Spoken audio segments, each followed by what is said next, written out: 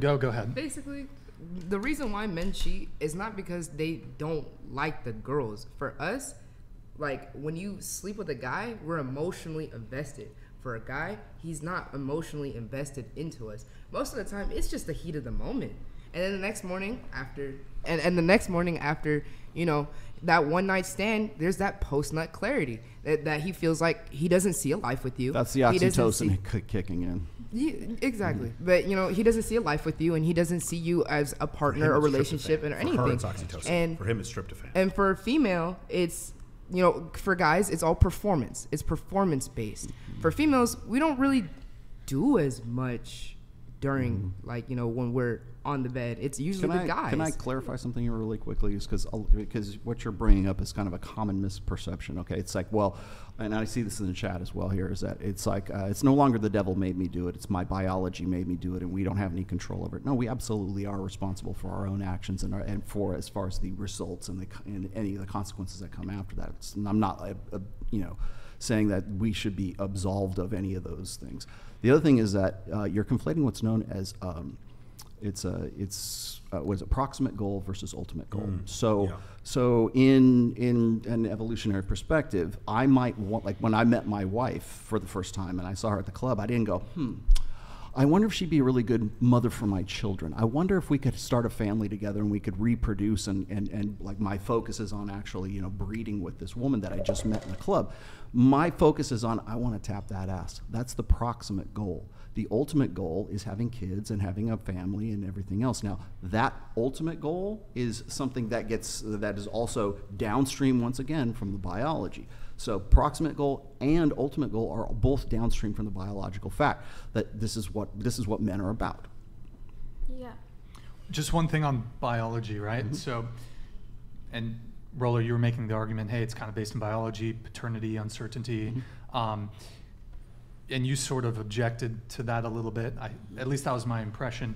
No, Um, I didn't I object to think it. she's, I'm, didn't she's not. She's not. I'm saying the objection could also be based in biology. Sure. Um, wait, wait, what's the objection? Well, no, it's the But- but the you- biology made me do it. My, Oh, my, say self, biology my is an selfish excuse, gene made me biology do an it. excuse. I'm saying our involvement of culture is also biological. Like, like you said, culture it's follows downstream. downstream. But, but it's, but it's always, but our, our involvement in culture is always set up so that it fits our biology. Does that make sense? We don't build cities made of sulfur and ammonia, right? We because that they're toxic to human beings, and we don't generally jump off off, off our balconies every day. We, we have elevators. Our societies are created for the safety and procurement of, of Homo sapiens. So that's bec- biology leads culture. Does that make sense? In every case, biology leads culture. But it's never I- the other way around. I, I think what you were kind of getting at is you were saying, well, when you have sex with someone, you know, you, you mentioned birth control, for example. Well, why? You know, what's the deal with birth control? You know, you you recall when you were saying that? Hmm So, I guess my response to you is, well, if you're kind of saying men should disreg- disregard their sort of innate biological response to this, then shouldn't women also, for example, uh, disregard their attraction towards men who are tall, for example, which has a root in biology? Or, uh, sorry, go ahead. I was saying men already disregard that biological need when they fuck with a condom on because if their pro- like, if their goal is to spread their seed, because that's what the biological instinct is. But he kind of made the differentiation between approximate desire and then ultimate desire. or, or, or a conscious desire and a subconscious desire. You have a neocortex. That's what celebrates you. Se- I'm sorry, celebrates separates you from lizards. Your you have you can cognitively un, your genes have no contras. con- Your genes don't understand what contraceptives are. If your genes understood what contraceptives are, they never let you use them. Your genes want to replicate themselves, but you cognitively understand what contraceptives are. You subconsciously do not, and that's where that's where the the the conundrum comes in. exactly what Michael said. Like you can you can want to spread your seed. That's the objective of sex, right? But you can also do that at a time where you're not ready to have a kid. So your biology, your genes, everything is telling you like I want to go through with this.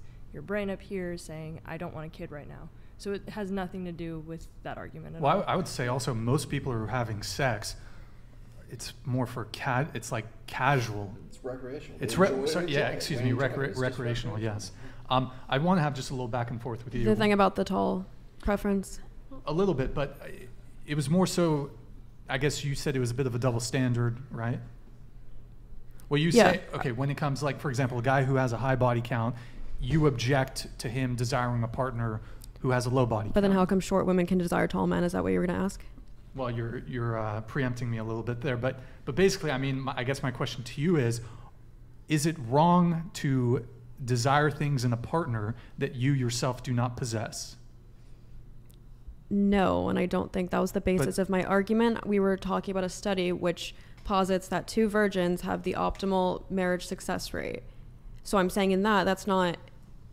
Well, I think you're shifting a little bit because initially I think you were saying, well, it's I I don't know your exact wording, but it sounded like you objected to, for example, a guy who has a high body count desiring a woman with a yes, low body count. Yes, in that specific instance, but I'm not saying I'm not making the generalization that you can't want something that you personally lack. Well- I was saying in that specific instance, it doesn't map on because of the study we mentioned, where it does map It's on just that not reasonable to hope to like. I, I'm just going to be honest with you. The probability of you, the person you marrying, being a virgin is infinitesimally low.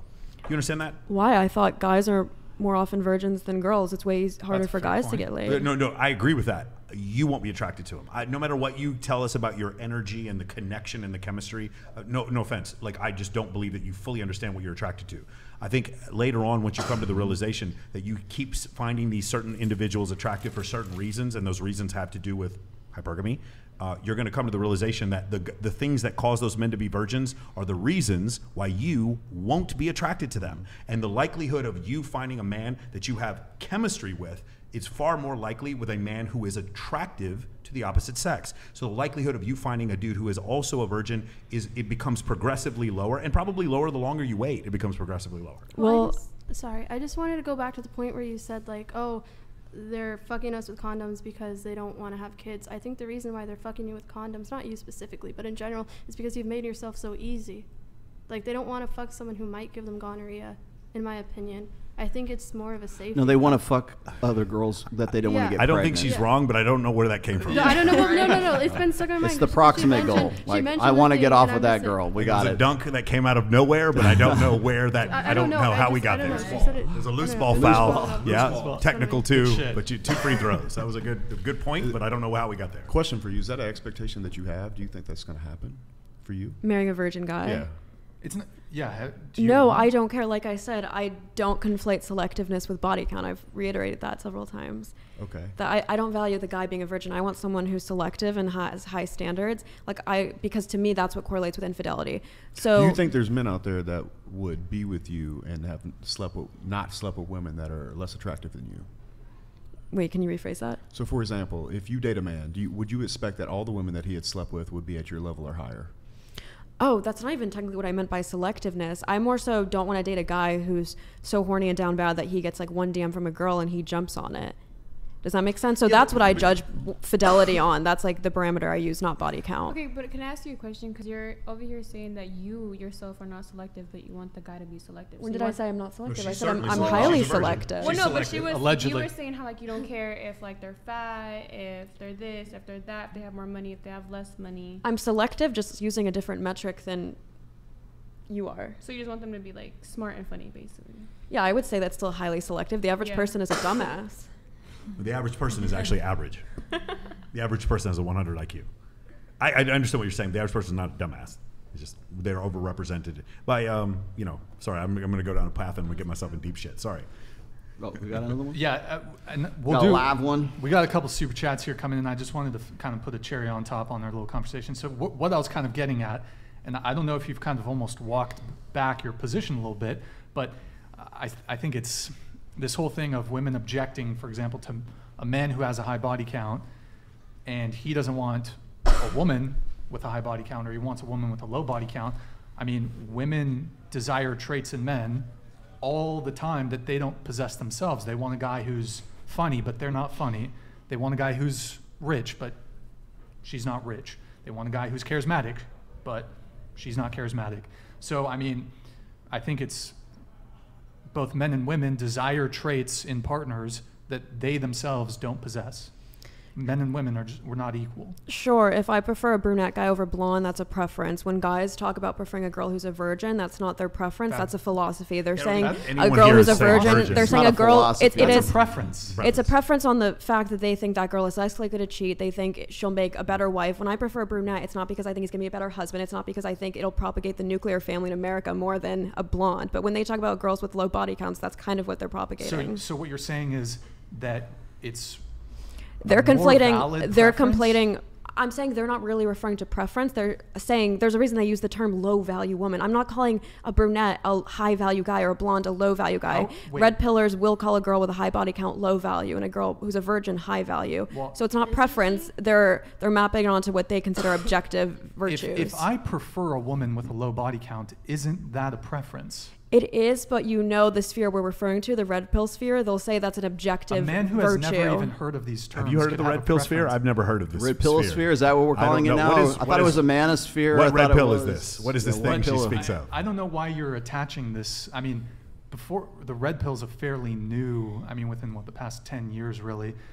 20 years Get years. the book, by the way. the The difference Rational Male, by the way. What marks a Um, preference is subjectivity, but when guys talk about girls with low body counts, they're typically thinking of it in an objective way. So even a guy who's not red pilled, they'll probably say this girl with a low body count is objectively better, right? That's why it's, I'm- it's I'm still really a preference, but Right. you understand what I'm but, but, saying? the- but that judgment is based on their biology and it's based on subconscious effects that's happened through evolutionary psychology, But right? it's not really a preference don't for them so. specifically. But- They're but- saying it's a but- but preference for their what? gender. Men just don't want to fuck Huh? whores. Oh, better for what? Yeah, they do. Okay, Better but for they what? want to fuck whores, but What they do you don't mean? want to like. wed Every man woman- wants a slut. He Okay, just they wants her want to a be slut, his but, slut. Like, they don't want to marry that slut. yeah. Every man wants a slut. He just oh. wants her to be his. So if Yeah. I like brunettes over blondes, I'm not going to say girls prefer brunettes over blondes. When guys say I have a preference for low body count, typically they say guys prefer girls with So- low so body let- counts. let- Do you understand why that's not necessarily a preference? Because No, no, they're not it's they're still- not it's still a speaking specifically for themselves. That's why I'm saying it's more of a philosophy. I prefer I prefer vanilla ice cream over poop ice cream, and that's because of my genetics. Like that's the reason why. The- the- the- let's go back. Let's go back to this other thing you were saying. Hmm? How about this double standard? I know several men, and I have several clients that are under six feet tall, and they don't get chosen by women. Shockingly, some of them don't get. They have a harder time with women than taller men. That preference is also based in evolution, and we as men are fully aware of it. Do you think that's also a double standard that women have towards men? Do women create a culture of podcasting and memes ridiculing men who are under sh- six feet tall? Yes. Do I do I tell Whoa, whoa, a five whoa, foot whoa, ten whoa, guy is low Yes. value? Yes. In Call her retaliation. daddy. Call her daddy. I don't want yes, that. call her daddy, pro- the biggest podcast in the world. Fifty yes. million dollars. I'm by just the saying way. I have yet to see I have yet to see a blue pill podcast. Re- no, it's not Blue Pill Podcast because they don't. They, no, there's all these things. What do you call a guy who's five eleven? awesome. A friend? You haven't seen this meme? Watch anything by Ben Shapiro and Matt Walsh, you'll see a Blue Absolutely, Pill they cru- they crucify men, and they, and they actually show when you look at dating apps. It goes. They show Tinder, Bumble, and Hinge.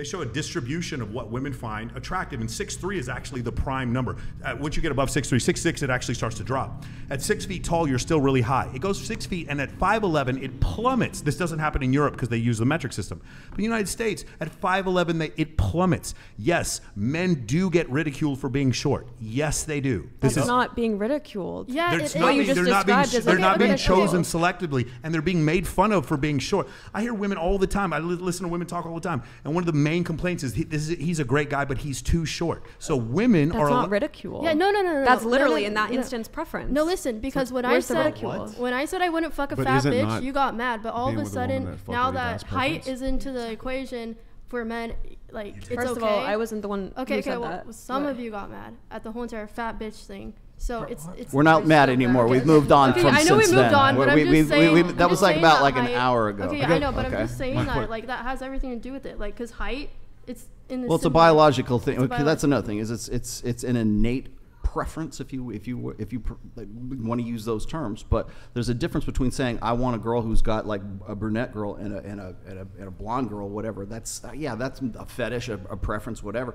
But the reason why I am uh, hesitant to get with a single mommy is because I have 100,000, 200,000 years of evolution that says that woman is provably already raising the child, uh, or uh, I would have to raise the child of another man right there. So that hesitancy is not a preference, it is a, a biological adaptation to be aware that I, if I go and I put my resources towards raising that, you know, participating in the parental investment of another man's child. Hold on just a second here, Mia Rolo. Khalifa, you're failing to understand that the double standard of promiscuity applies to marriage. Men want female virgins for marriage. Per Institute for Family Studies, multiple sex partners reduced marital quality for women but not men. Alvin Sam, thank you for the big $200 donut. Appreciate it. Yeah, I would say in general, women aren't necessarily more or less attracted to men based off their body count. But if we're trying to propagate the healthiest and most successful institution of marriage, that's based off both partners being Well, but- virgins but until marriage. The original point you made was about a double standard, and the thing is, it, let, us bring up one more part about this double standard. For me, being afraid to be with a woman who's been with 80 guys, there's actual studies that show. From an evolutionary standpoint, Institute for Family Studies, the study he just brought up, there's actual studies that show that that that could be deleterious for my relationship. For you to choose a man who's under six feet tall, some of the best fighters on the planet are under six feet tall. Some of the baddest Marines and Navy SEALs on earth are under six feet tall. Probably most of them. And so the point is where you're provisioning, the, the reason why women prefer tall men is for protection. The, the protection paradigm doesn't fit anymore in 2023 because a guy who's six, five, six can buy a Glock. It's a different world now. So what we have to believe as far as our prejudice against a woman with a high body count still is effective. It's still an effective protection for us in 2023, but women choosing taller men is actually irrational. It's actually irrational. Jeff Bezos, like, it's actually irrational for you to do that. Do you understand what I'm saying? That's the reason why, for our preference, it, both of these preferences are based in evolution. But our preference actually still makes sense. Whereas the preference for tall men actually, and I'm saying this as a guy who's 6'2, uh, the preference for tall men actually doesn't make sense anymore. It doesn't. And that's that's the thing that's so crazy about it. So I actually think the the for women men choosing women with a low body count actually makes more sense from an evolutionary standpoint is not a philosophy and is actually just a preference that's based on evolution